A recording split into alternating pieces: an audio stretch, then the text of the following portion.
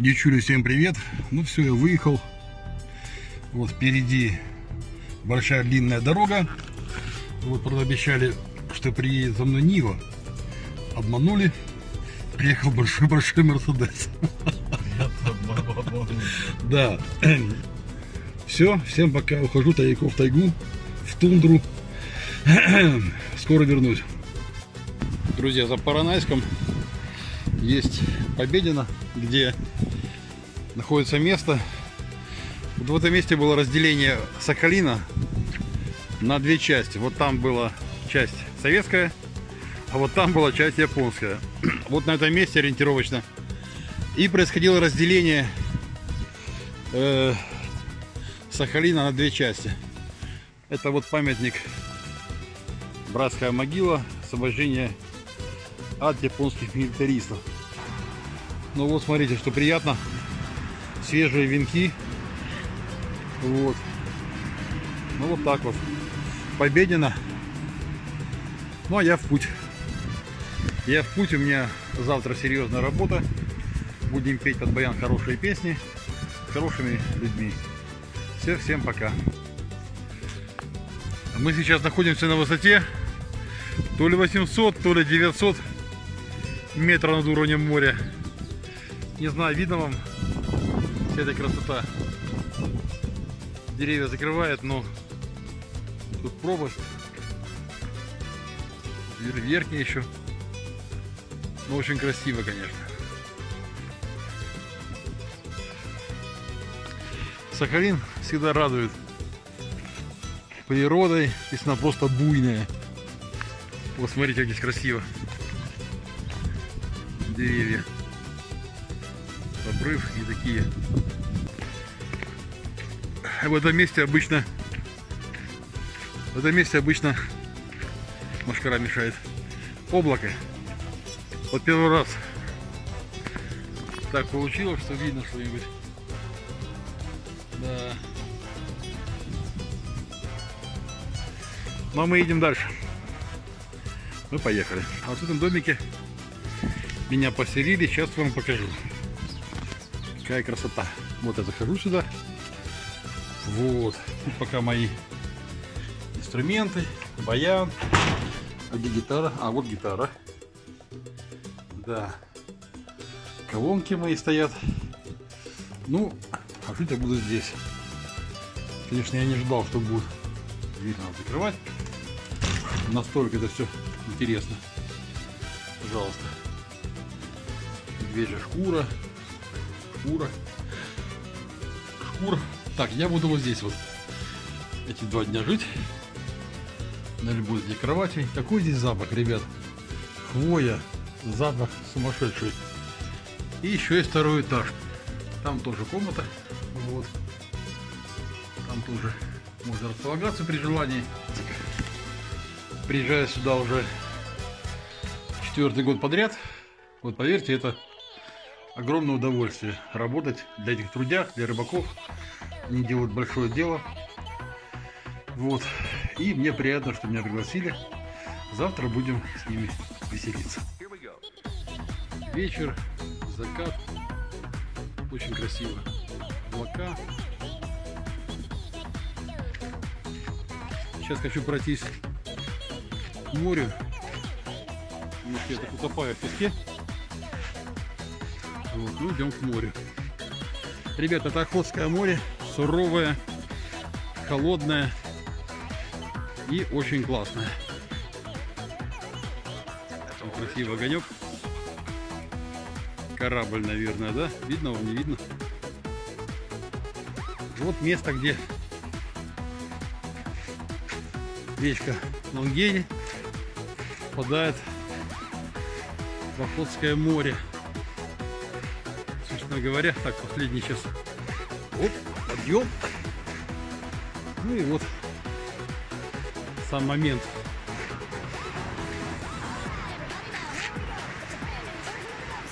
Вот так вот. Вот речка. Какой вид. Фантастика. И вот встречает волнами Охотское море. Море холодное, к сожалению, покупаться никак. Вот так выглядит рыбацкий сам плавник. Вечером в 9 часов. Вообще после города, конечно, разница в звуках. Вон рыбаки что-то готовят на природе, какую-то ушицу, наверное. Вот здесь заходит лосось, вот сюда по этой речке идет нерестица. Вот. Но добыча доведется только в море, в речке запрещено и владельцы этого стана этот запрет соблюдают. Завтра работаем. Поздравляем ребят, рыбаков, с праздником День рыбака. Тяжелая работа у них, каждодневный труд, опасный и благородный, потому что мы с удовольствием кушаем эту рыбку. Наступает 11 э, июля, День рыбака. Я нахожусь на рыбацком стане Плавник, где буквально через вот, 3 часа, 3 часа дня начинаем праздник, начинаем праздновать. Э, мне очень приятно, что основатель этого стана, основатель вот именно рыболовецкого промысла в этом месте уже в третий или четвертый раз год подряд меня приглашает на праздник профессиональный праздник. В том году я написал песню про его рыбацкий стан совершенно от души. Вот, и мне очень приятно, что, наверное, эта песня и помогла мне приехать сюда и в этот год то же самое. А сейчас хочу немножко разыграться, распеться и вот эту песенку испеть, которая была написана в том году э, на 20-летие 20 рыболовецкого стана «Плавник», который, да, уже трудится, получается, году 21 год. Со мной мой, мой старенький Ovation, который привез с Украины, где я часто выступал инструментом. Ну, приятно, что инструмент не лежит на полке, а играет и помогает музицировать дальше. Все знают речки и моря, одна семья. В Ангаре речка правит воды в парям в море. Здесь корабли на рейде топят якоря. Семь футов есть, и все уверены в моторе. Здесь море помнит, как любил его Пилар. Когда ловушки ставил для морского краба, Когда к причалу подходил под звук фанфар. И ноги рыбаков качали доски трапа, Когда к причалу приходил под звук фанфар. И ноги рыбаков качали доски трапа, Природа дикая, медведи машкара, Весь край суров, под синим цветом небосвода. Здесь край рыбацкий, здесь горбуша, здесь икра. Ее доставит щелевик с рыбопроводом. Здесь край рыбацкий, здесь горбуша, здесь икра. Ее доставит щелевик с рыбопроводом. Здесь двадцать лет стоит рыбацкий городок. Плавник известен всем по матушке России. Морской прибой с утра не ласков и жесток. Характер силы человека и стихии. Морской прибой с утра не ласков и жесток. Характер силы человека и стихии. Сюда приедут на путину рыбаки. Перел мотора оживит тайгу глухую. Работа тяжела, но это по-мужски. Все по порядку, все конкретно по фэншую. Здесь братство рыбное, цари морских добыч. Плавник доставит груз во все края России. Тайгу раздвинул Владимир Владимирович. Хозяин стана, старший брат морской стихии, Тайгу раздвинул Владимир Владимирович. Хозяин стана, старший брат морской стихии. Все знают речки и моря одна семья. В Ангаре речка правит воды прямо в море. Здесь корабли наедет, топят якоря. Семь футов есть, и все уверены в моторе. Здесь корабли наедет, топят якоря. Семь футов есть, и все уверены в моторе. Вот такая песня. А медведи, да, тут в самом деле сегодня ночевал. Здесь собаки сторожевые. Так вот они вот полночи гоняли, лаяли, как сказала охрана, что Мишка ходил, поэтому по ночам аккуратненько. Как я уже говорил, скоро идти выступать, скоро работать. Но пока разыгрываемся. Еще один мой друг. Да, так оно и есть, потому что чем больше я играю, чем больше я занимаюсь, тем больше я понимаю, что на самом деле это друг, который отвечает радостью на радость, грустью на грусть, печалью на печаль. И ты когда можешь выразить свои эмоции через игру на инструменте, ну, это здорово. И друг помогает.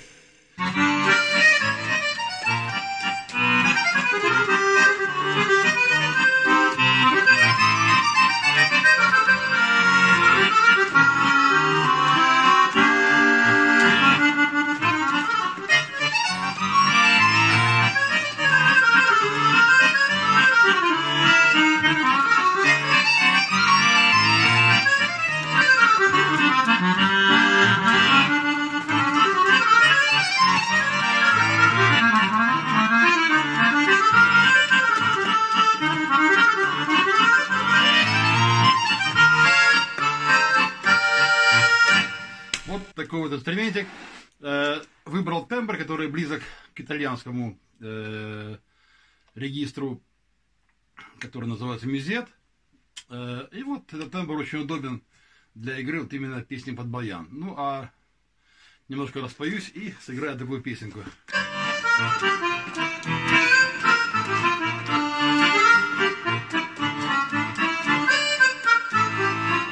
Мальчишка беспризорник, голь сирота, Революционный сын страны своей балкон. Дайте медный грош, господин хороший, Вам вернется рубль золотой. Дайте медный грош, господин хороший, Вам вернется рубль золотой. На грошик этот Леденцов в разрез барышне своей туплю, любимой, мимо, не проходите мимо, а на ворованный книг. Ну, друзья мои, разыгрался на гитаре, на баянчике. Готовимся, одеваемся, ставим аппаратуру и скоро работаем. Всем привет! Э, вот место, где стоят катера на суше. Это щелевик. Вот мне интересную экскурсию сделали. Почему называют это щелевик? Оказывается, эти катера, они дырявые. Там, видите, у них щели. И вот эти щели для чего нужны? Э, само судно держится на двух, как они называют, банках, да, вот воздушно. Вот одна и вот с того края еще одна. А вот здесь щели для того, чтобы поступала вода. Для чего? Когда рыбу загружают лосось, там, ну, что вылавливают внутрь этого катера, э, если она будет без воды, она будет давить сама себя и будет внешний вид совершенно другой. Его специально, чтобы она была свежая, живая, э, через эти щели поступает вода прямо вот внутрь туда. Здесь прямо видно вот решетка, да? И то есть вливается, выливается. Но катер держится на двух, вот передняя и задняя банка. То есть там воздух и это позволяет держать. Ну, вот так это выглядит. Сверху немножко. Вот еще один катер. Но он э, не, как сказали, не дырявый, да, а то есть он цельный. Вот и окончилось мое путешествие. Вещи собраны, пора в дорогу. Все, до свидания. Прекрасная прекрасный дом, где я проживал. Здесь было хорошо. Ну, а мы поехали дальше. Все закрываем. Закрываем, закрываем, закрываем. Все. И вот на этой машинке мы сейчас будем ехать, как говорится, домой. Все, южный привет. Я добрался домой. Приятным бонусом было то, что мне Владимир Владимирович, владелец стана, презентовал такие вот чудесные рыбки.